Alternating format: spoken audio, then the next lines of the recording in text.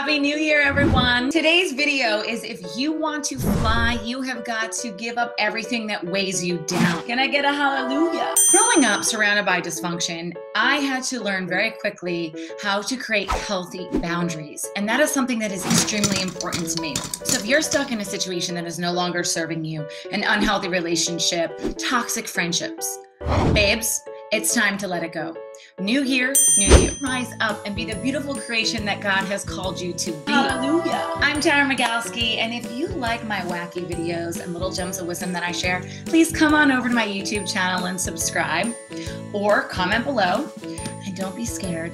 Come on, come on and do it. Don't be scared. Comment right now. I'd love to step into the new year with you and share this journey with you.